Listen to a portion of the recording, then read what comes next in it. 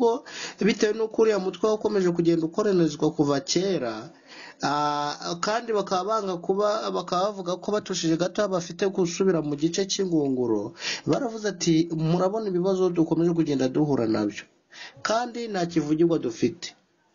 Reka twubake igisirikare cyacu tucyubake neza kandi tuzi ko bizabyara umusaruro. Naho ngaho byatangiye rero bakagenda bubaka igisirikare cyabo. Nibwo bukungu bwa buriya ni bwo bukungu bwa buriya bakoze amateka akomeye cyane ubwo bagiye barwana n'abandi basirikare ba, FRDC bakagenda batsindwa. Ibikoresho babashije kuba babasiga babasiga M makumyabiri na gatatu igahita ibifata rwose ikagenda yigwizaho intwaro. Muzi yuko n'ibikoresho by'ubwirinzi byinshi hemo na byo yari ifite ariko ikomeje kugenda ibigira mu gace ka Minova ndetse na za Minembwe ndetse na za Kirorirwe Yego, ibyo byo byaranagaragaye. Mu bice bitandukanye by'igihugu cya Kongo ku ntambara zagiye zihuza imitwe yitwaje intwaro bamwe mu baturage bati perezida Gisekedi ni we biri inyuma. Ariko ubu ngubu perezida Gisekedi ntawe ukivuga kuko ubu ngubu ari kugenda asaba abantu ngo bamusabire kuko ubuzima bwe bwatangiye kujya mu kaga gakomeye. None ubwo twavuga ko Evariste Ndayishimiye we agiye gusiga he nk'umuntu ushyigikiye perezida Gisekedi. Perezida Gisekedi perezida Gisekedi abayeho nku- abayeho nk'uzapfa ejo yuko n'amahanga yose amaze kugenda amwinuba Yego. nta n'ikiza yigeze anakora mbese tu- tu- tunagenekereje yuko bamwe muri bo yagiye ashaka kugaragaza imbaraga zitari nziza.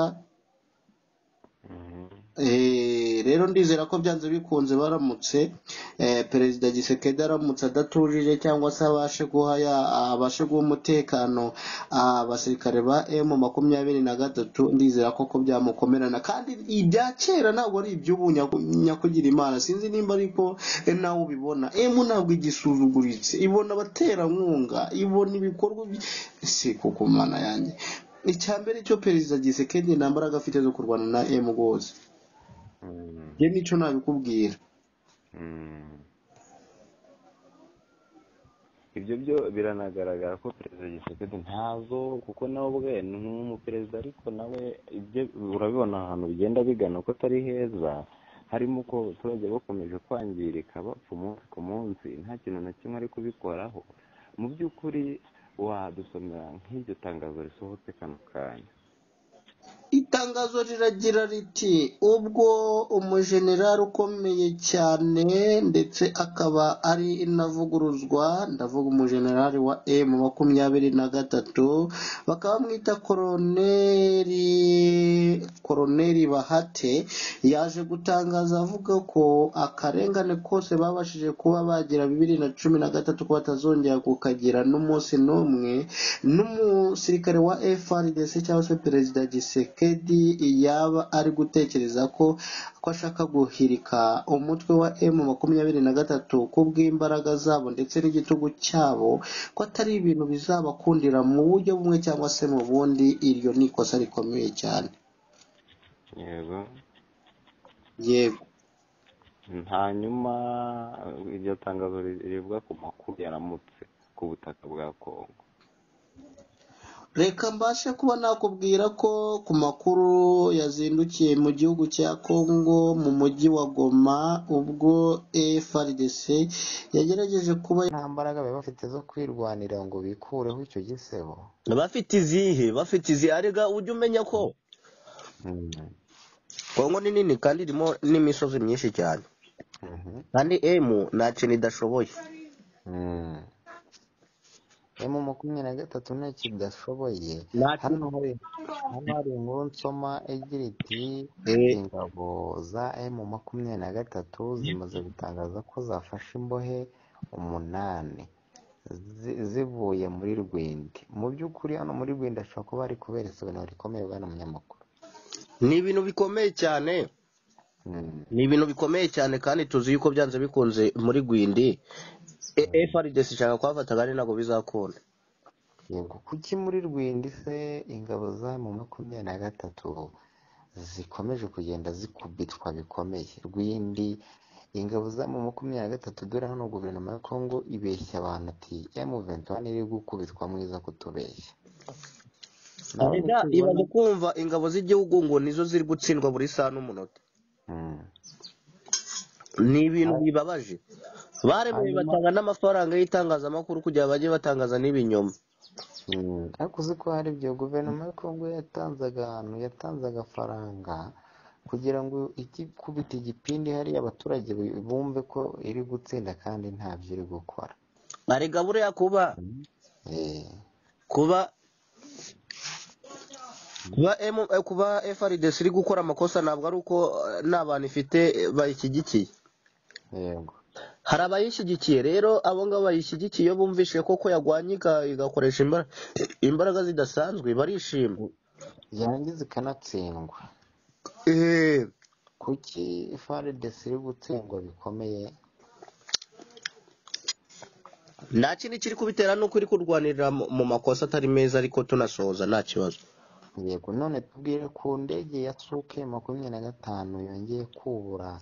Ikaba yagana muri rwindi none emu makumyabiri na gatatu ikaba imaze kuyihanura kano kanya. Ni inkuru nziza rero ku bakunzi ba emu makumyabiri na gatatu. Hano hari amakuru rwose atariho ivumbi dukesheje imboni yacu twoherereje ifoto igaragaza emu makumyabiri na gatatu yongeye guhanura indege ni igihugu utabasha kumenya uburyo kimeze. Ni inzira nyinshi cyane kugira ngo ubashe kumenya ubusobanuro bw'igihugu cya kongo bwana munyamakuru tutatindiye abakunzi ba sisifuri tv inama iri kubera muri ibyo bihugu byo hanze by'umwihariko ku biri kugarukwaho bari kuvuga bati perezida gisekedi ubutasi bwa leta zunze ubumwe za amerika bwafashe icyemezo cy'uko uno mugabo agomba guhanwa kuko ibintu ari gukora birenze ukwemera jenoside. Nubwo biri kuvuga ko imirwano isa naho yafashe agahenge nyuma y'iminsi kubera ko eh, mu makumyabiri na gatatu iri kwitegura operasiyo militaire yo gufata umujyi wa Goma dore ko yanabyitangarije abasirikare b'abarundi bakisuka mu mujyi wa Goma abasadeke nuko ab'ingabo z'imitwe yitwaje intwaro bihurije hamwe bakabyara ikiswe wazarendo nabo nuko ubu ngubu bikaba biri kuvugwa ko emu makumyabiri na gatatu yatikije bikomeye perezida gisekedi n'ubwoba bukaba bwinshi. Eh, perezida gisekedi ngo ari mu mazi abira kuko ubutasi bwa leta zunze ubumwe za amerika bwamufatiye ibyemezo ndetse ubu ngubu biravugwa ko perezida gisekedi noneho ibyo yakekaga byahinduye imirishyo. Kugeza ubu noneho perezida gisekedi ubutasi bwa leta zunze ubumwe za amerika buri kumukorera inama z'urudaca. Mu by'ukuri ni cyo bavuga kuri perezida gisekedi ku nama ziri gukorwa aho benshi bavuga bati perezida gisekedi noneho yaba agiye guhura n'akaga atigeze abonaho mu buzima. Urakoze cyane rwose. Perezida gisekedi ibyo yigira byose ndizera ko ko ari ubusa.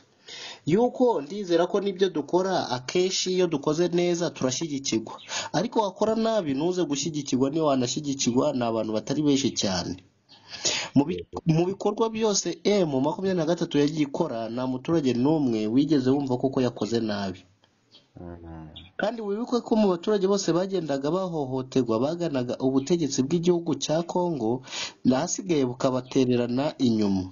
Ariko emu makumyabiri na gatatu bayigana ikabasha kubatabarira hafi. Rero nta kindi nari nshatse kuvuga nari nshatse kuvuga ko ibyo perezida gisekedi byose yigize n'ibyo yakoze byose ari mu marira akomeye cyane igihe afite kuzabona abaturage bose noneho n'abo yari afite bose bamwi- bam- bamwihindukanye kandi bikaba byazamo ikibazo gikomeye. Yego birumvikana.